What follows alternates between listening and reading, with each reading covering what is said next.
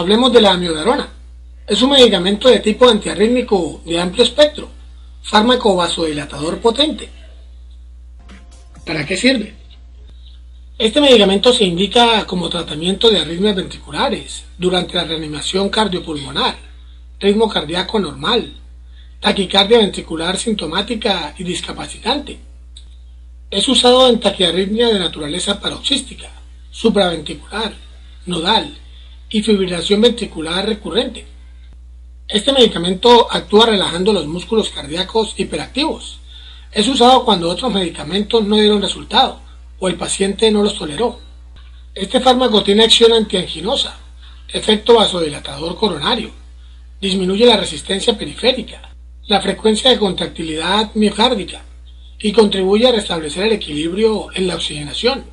Usado en el tratamiento de la insuficiencia cardíaca, como prevención de crisis de angina de pecho y profilaxis de fibrilación auricular en pacientes bajo cirugía cardíaca.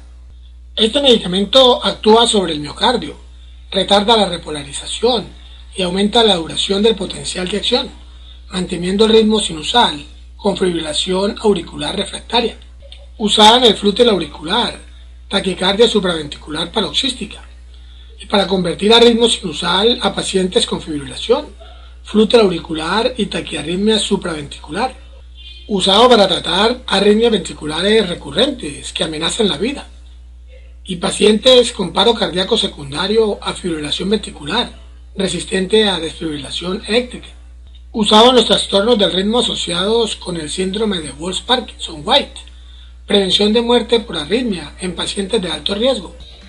Precauciones.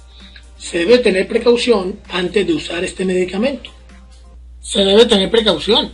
La miodarona puede causar daños pulmonares graves e incluso mortales. Informe al médico si ha tenido enfermedad pulmonar, si es alérgico, si toma otros medicamentos, si ha tenido diarrea, problemas de presión sanguínea, alteración de la función tiroidea e historia de patología tiroidea si es un paciente con insuficiencia cardíaca o con función hepática alterada. Evita la exposición prolongada a la luz solar. Este medicamento puede causar problemas de la visión. Restricciones de uso durante el embarazo y la lactancia. Contraindicaciones. Este medicamento no debe usarse en algunos casos. Hipersensibilidad al medicamento, no en casos de bradicardia sinusal y bloqueo sinoauricular, o en pacientes con alteración severa de conducción y que no tengan implantado un marcapasos, no en la enfermedad del seno o en riesgo de paro sinusal, hipotensión o en insuficiencia respiratoria, miocardiopatía. Reacciones adversas.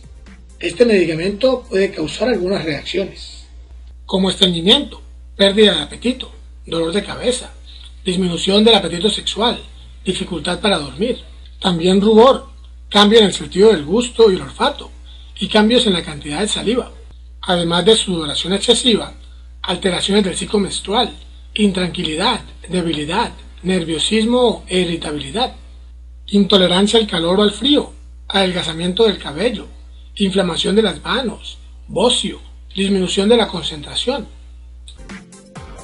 Bien, eso es todo por ahora. Deseamos que el tema sea de tu ayuda. Si deseas comentar, puedes hacerlo y esperamos que te suscribas a nuestro canal. Hasta un próximo video. Ah, y regálanos un me gusta.